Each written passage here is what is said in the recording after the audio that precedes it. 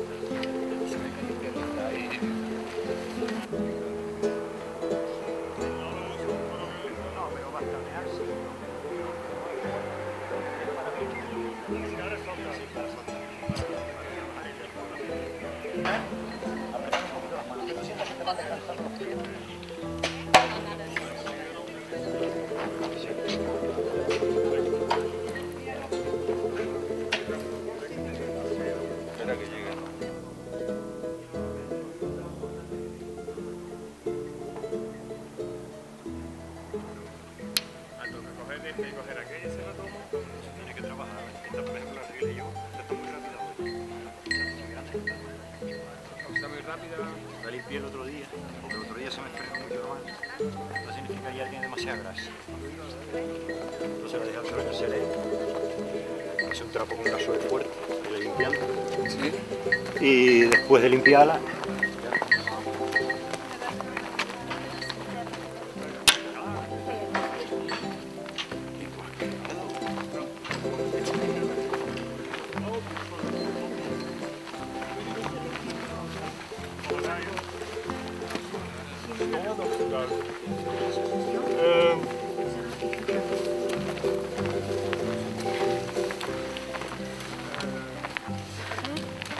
¿Y cómo eliges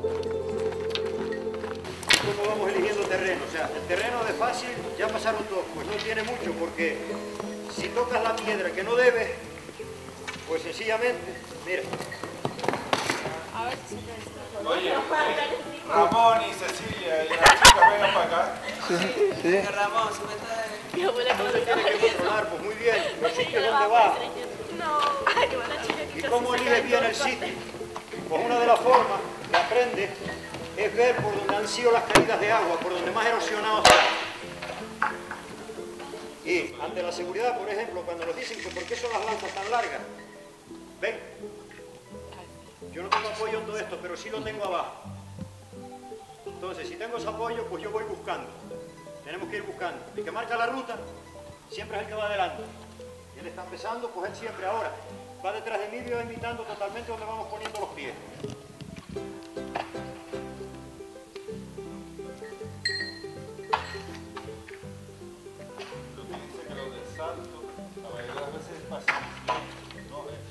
la, lanza para caminar,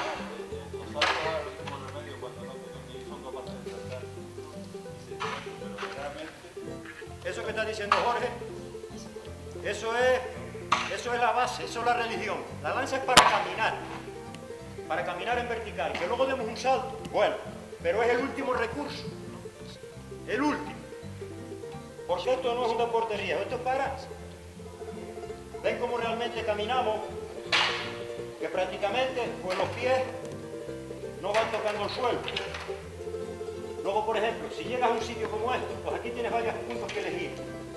Uno que finché y vuelvo a repetirles. Miren, el sitio más seguro yo veo aquí una caída de agua. Entonces, yo busco la bajada. ¿Qué es lo que pasa? Que a veces la línea recta no es la mejor, sino ya tienes que elegir. Entonces, tanto con los pies como la mano en el risco, aunque ustedes vean que no, hay pequeños apoyos. En el risco, pues te pueden ayudar. ¿Lo ven? Son apoyos de punta de pie. Pero los hay. Esto sería imposible. Imposible. ¿Ven? El, objeto de que la lanza sea larga. Esto sería imposible si no tuviéramos la lanza. Imposible.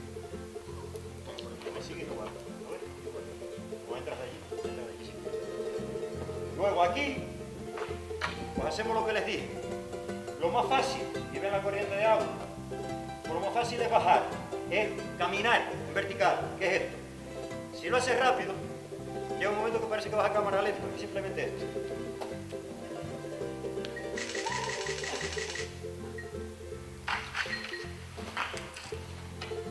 ¿Baja qué? Él ahora, como es nuevo,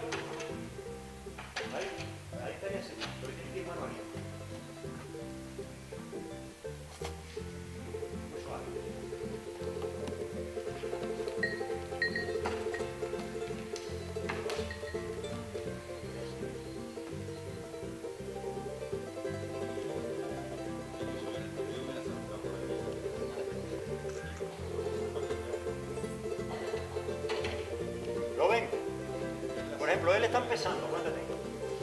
Él está empezando. Lleva conmigo un año aproximadamente. Y ahora fíjense una cosa. ¿Ven la posición? Esa es la posición para pararte. A veces lo rico hay que pararte a pensar. Nunca tienes la cabeza igual o nunca tienes el punto de enfoque igual.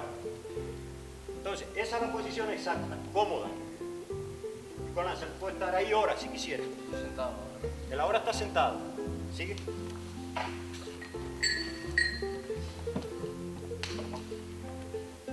Siempre va describiendo un triángulo entre, los pies y la lanza? Y ven que los pies no lo oyen. Se trata de eso precisamente. ¿Oyen? ¿Cómo hace el abanico?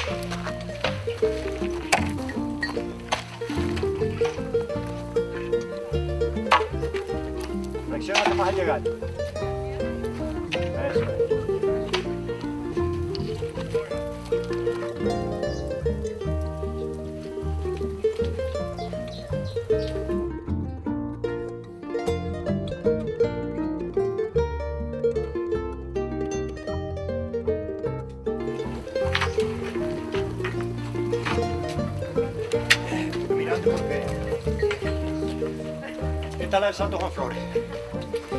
Este es el Santo Juan Flores. Encima está la del Brexit. Mire, si alguna vez, el otro día cuando vinimos, para que vean lo que Jorge estaba diciendo, lo vamos colocando aquí en el barranquillo. Los que vinieron el otro día, hay algunos por aquí. Fíjense cómo ahora está rompiendo y no ha llovido.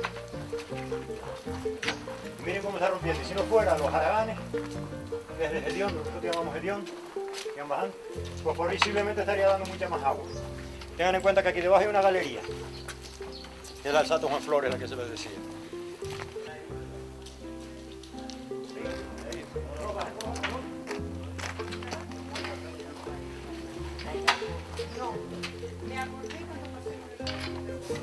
material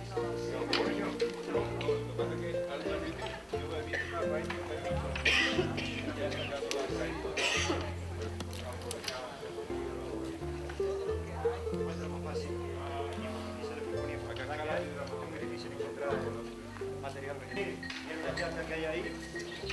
En caso de apuro, pues bueno. Si le preguntan a más de uno, a más de un viejillo, entonces lo que vas haciendo es un entramado. Si con la lechera lo pones en la zona, por ejemplo, No me dé la espalda. Ah, perdone. Más limpia que veas, que por ejemplo es esta. Ven aquí la agüita está limpia. Como que si saca las raíces, como que... No, pero aunque tenga un poquito de tierra, la pones. Ahí no sé si lo verás ahorita. Sí. Entonces, pues nada, apoya. Y absorbas a través de él. A través Pero yo te digo, yo bebí Si la ponen- agua, si la en quieren agua probar, peor que esa. Si la quieren probar, Ahí en el centro le sacas la capita, aparta un poquito. con Nada, eso, pero es que no y si nada. te ves apurado, hay que si la bebes. Y aquí al lado de la piedra está No- limpio. No, no te mueres, puedes ya tú lo pones. A ver, mira. Mira que bebió un buen. Miren ahora lo cristalina que está. En cuanto le quitas, eso que tienen es mujo. Eso es mujo. Es la de en Buraca, me imagino que era un depósito de agua, hay una, un depósito excavado en la roca. Yo siempre que voy ahí bebo agua de allí directamente. Y, y ahora tiene po- ahora a lo mejor tiene 4 o 5 dedos. En invierno está llena, se sale por encima, pero yo jamás. y, y hay una cosa, si ustedes ven esto, culantrillo Efectivamente. puede beber lo que quiera. Efectivamente. Vamos, porque eso significa que el agua está buena, que es agua, esos culantrillos, eh, y ahora me viene a la memoria, la fuente de Tamaraboya que estaba comentando con alguien por ahí, en el paso, que tiene fama de medicinal, sobre todo para la- los sapos. Los sapos eran unas vejiquitas que le salían, sobre todo a los niños y a los grandes, pero a los niños en la boca. Entonces te enjuagabas la boca con eso y decía que los sapos se te iban.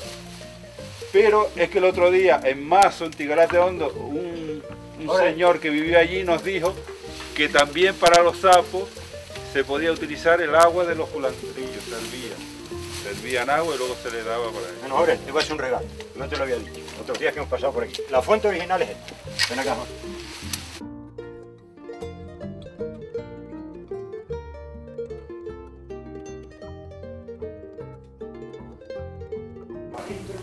¿no?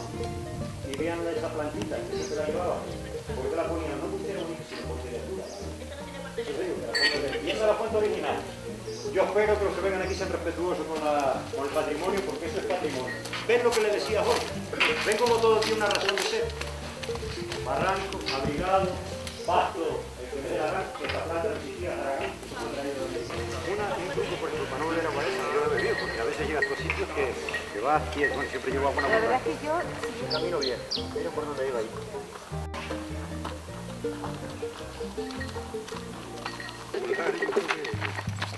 Salga De hecho, Gareagua yo creo que ni siquiera están federadas, se federaron este año. Luego en Punta Llana allí.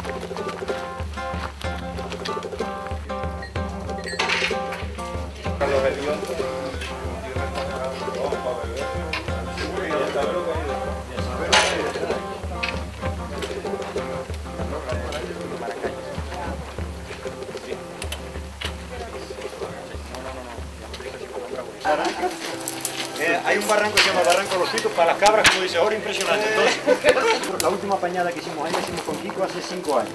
Tenemos imágenes de eso. Y la metaban ahí porque las plantas de estas son así, son gigantescas. No se mete nada, tiene dos tranques fáciles de poner, uno en el topo María Jordana y otro en la punta de los suizos. Y hay una cantidad de esto impresionante.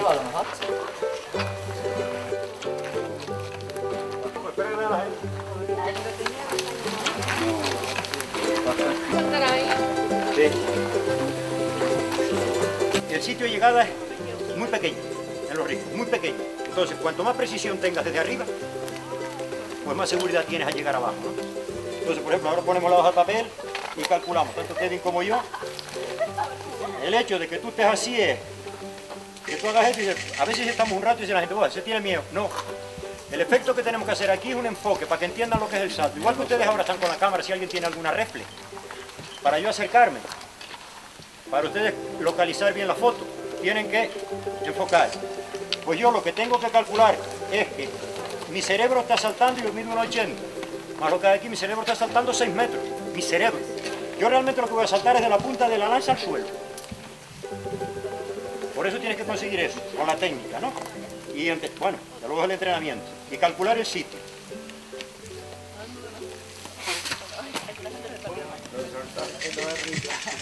Como ven los pies apenas se oyen.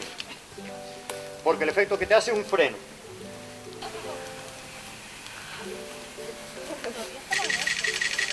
Cada uno busca su punto, efectivamente. Lo que está haciendo es perfecto.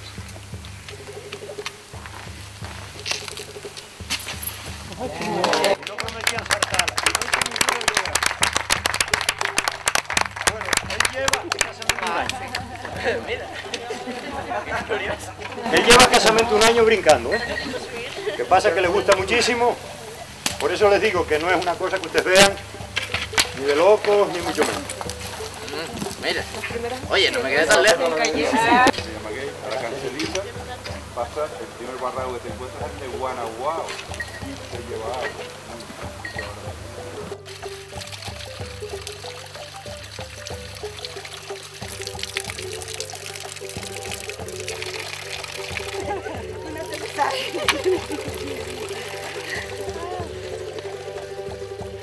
Don Antonio Abad una vez me comentó él, porque no era de Risco, que salió en el programa Sendero Isleño y dice, "Hmm, ahora no entenderán por qué cuando te lo enseñé. Que parece mentira, ojalá estuviera vivo. Cuando me dijo, una vez me pasó mil puntillas que fuimos a meter unas cabras con un chico. Lo mismo me hacen volver a pasar con la edad que tenía, le doy la vuelta a la isla completa antes de pasar por ella. Y lo pasó más rápido fue por la pasar puntillas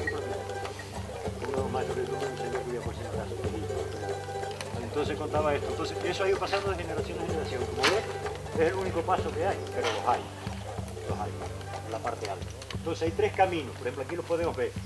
Hasta que se junten, mira, están llegando ahora los. El camino de la parte alta, por donde corre la Transvulcana,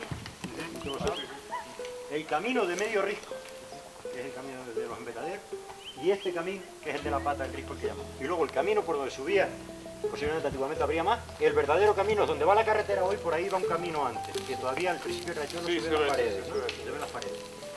Pues el camino que hay por encima, por donde corre la Transvulcania hoy, ese camino se hizo por culpa de la sequía y el hambre. Eso lo hizo la gente el paso, los agricultores el paso. Es el camino real, porque el camino real cruzaba la cumbre, que vemos a subir ahora cuando lleguemos al Pío Lavín. Pues ese camino para acá, en el año 48, hubo una sequía muy grande. Hubieron dos tres años de sequía, pero el 48 fue más grave, ya se acentuó. Todo el mundo vivía del campo y de los ganados, de los animales. Entonces, imagínense, que parece una burrada decirlo ahora viendo esto. No había pasto en todo el territorio del paso para echarle a los ganados. Nada. Ten en cuenta que la cabaña ganadera de ganado vacuno más grande de la isla era la del paso, no era la del paso. Bueno, pues ese camino salían de noche con una bestia del paso, después de ser, salían y según iban agotando los pastos, iban siguiendo el camino, haciendo camino, y haciendo camino, haciendo camino, haciendo camino, hasta que llegaron a donde dice ahora. Piedra llana. A Piedra La- Llana. La meta era piedra llana en las cumbres. Efectivamente, hasta que llegaron a ese punto, porque hasta ahí había camino, de la gente de allá. Pues ese camino fue hecho por el hambre y la necesidad. Y era para ir a buscar codeso, que no es un pasto demasiado bueno, no es, no es que sea el mejor pasto, pero el que había para coger codeso en la cumbre y volver a traerlo para alimentar la vaca. Y eso día sobre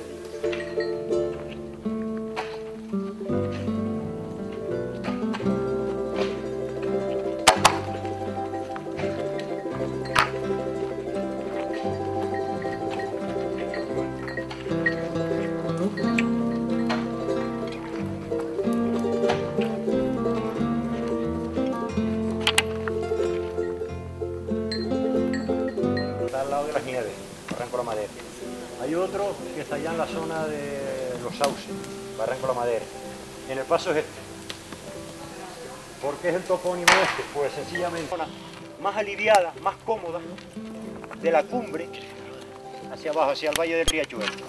Entonces, en Corsa, el vino, yo les dije que la isla se taló Jorge, por ejemplo, allá lo puede explicar, él tiene más conocimientos etnográficos de ese tema, porque él siempre habla con compañero Carlos Abreu, del tema de la brea. Pero también se usó mucho, era el combustible que había, para leña, para meterse en la casa, y sobre todo en la época de los ingenios azucareros y Tazacorte, los ingenios azucareros para destilar eh, la melaza, pues lleva mucho fuego, llegaba esa madera. Los ingleses, eh, principios de 1800 hasta mediados de 1800, finales, incluso principios de 1900, durante pues, prácticamente todo el siglo XIX, parte del XX, tuvieron mucha presencia en la isla y llevaban mucha madera esta, se llevaron para Inglaterra. Posiblemente la tea, como era una madera noble, pues posiblemente la utilizaron como madera. ¿no? Los barrancos que ven así aliviados, cuando vean el topónimo, vean que tiene unas características, porque es fácil bajar por aquí los troncos con corso. Eh, aquí, la Pajana, toda esta plataforma desde aquí hasta el barranco Riachuelo, hasta el cauce actual, eso está lleno de cabañas. La forma es, ven el morro ese que se ve ahí enfrente, esos morros o piedras son piedras de, la erosión o desprendidas del risco. Es muy fácil la forma de vivir en ellos. Tienes estas covachas o cejos, delimita por delante con un muro piedra seca, generalmente de forma circular. La entrada siempre expuesta hacia el sur o el oeste. Aquí más bien el sur, el sí, el sur, porque el oeste te puede venir los temporales abajo. Y luego lo que hacían para protegerlos, los muros generalmente unos 60, unos 70 años. Y luego hacían, colocaban encima del muro artificial y apoyadas en la roca ma- madre, roca natural, colocaban unos troncos de pino, de lo que fuera, y encima ramajes de vegetación de la zona, amalante, eh, gajos de pino, lo que tuvieran. Y tenían un refugio perfecto y confortable.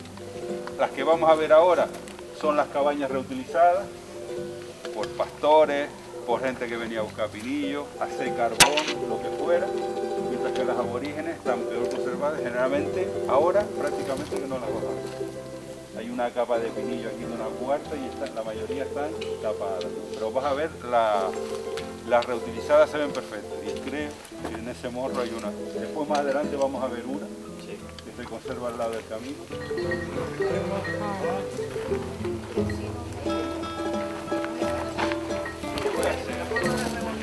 Mira, una ruta etnográfica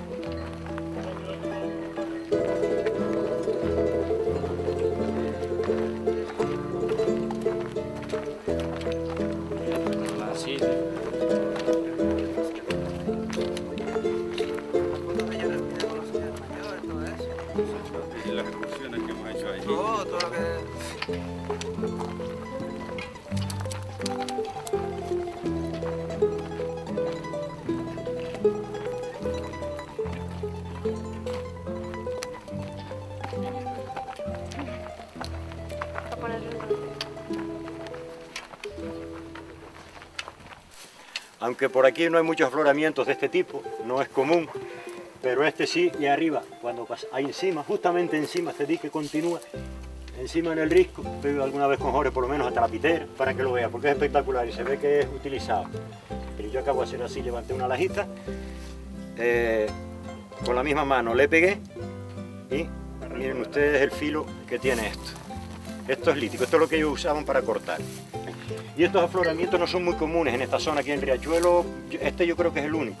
Yo se lo conocía y ya les digo, este dique continúa, entonces aquí simplemente metiendo otra piedra por debajo, golpeando tal, van saliendo estas lascas, lo van pasando para que vean, esto si apretan fuerte se corta.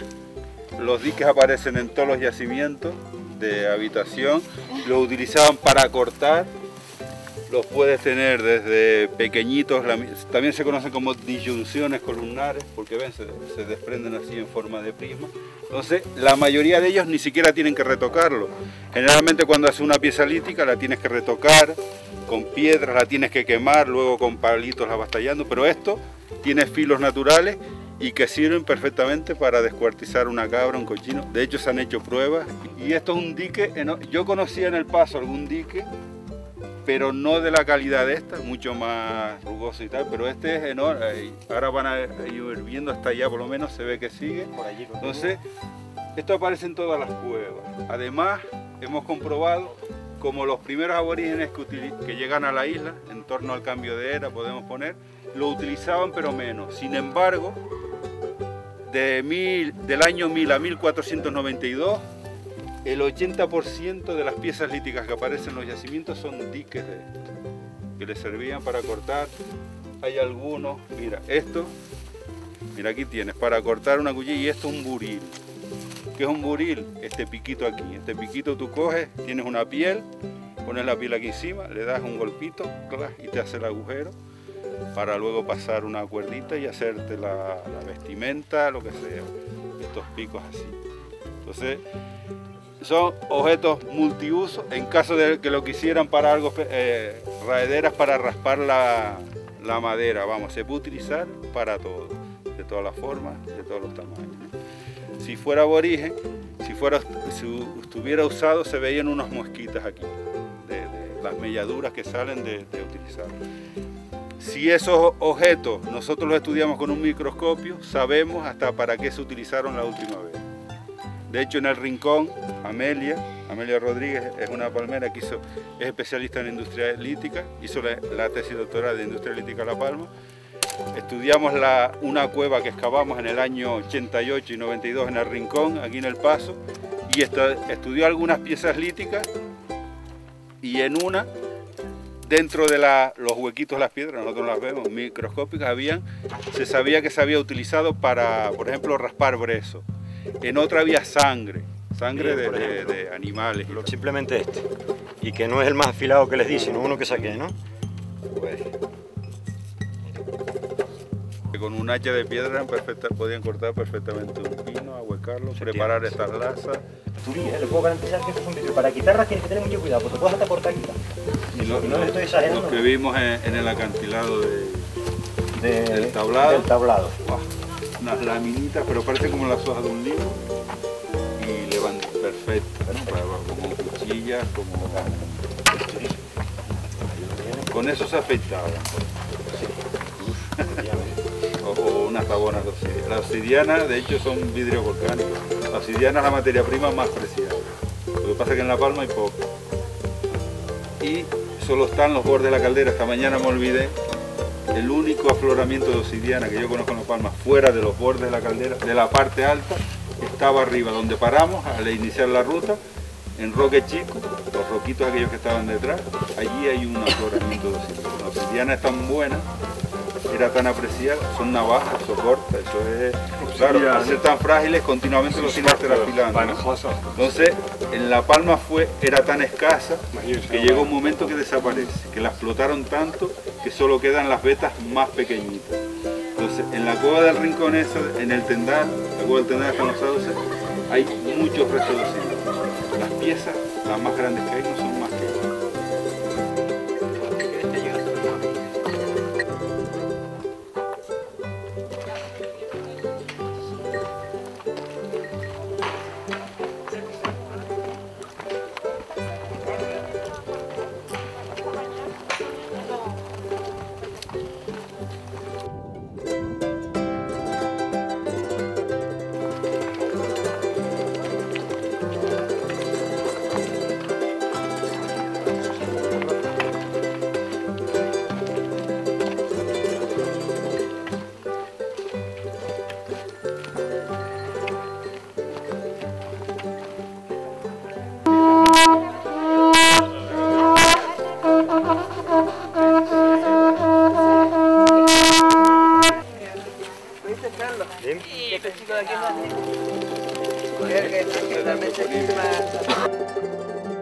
Usted fíjese si era importante, no solo para los aborígenes, sino que en los últimos 500 años nadie se ha atrevido a cortarlo.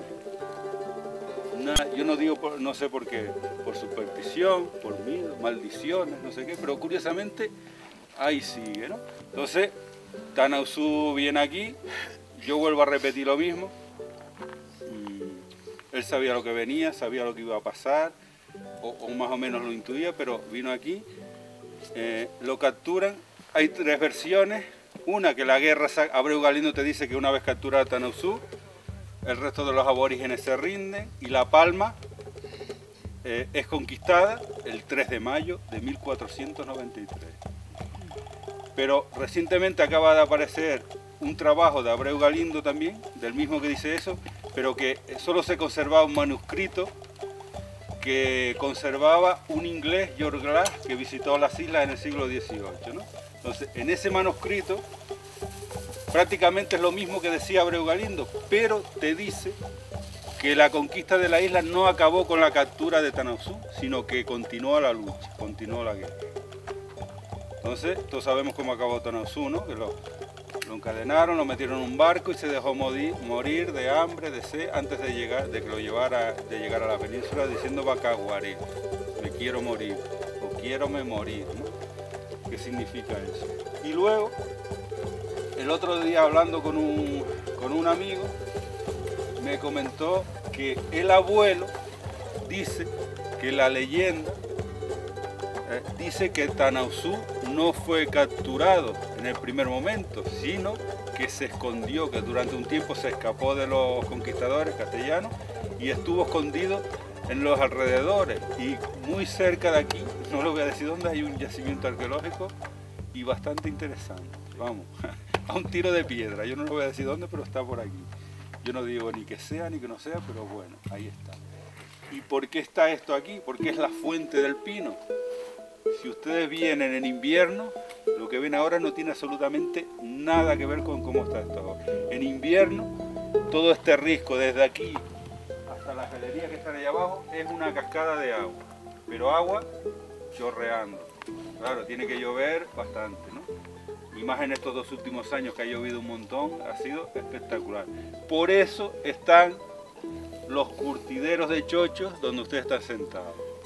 Esos son curtideros de chochos. Son los únicos que hay en La Palma donde los chochos no se curtían en el mar, en agua salada.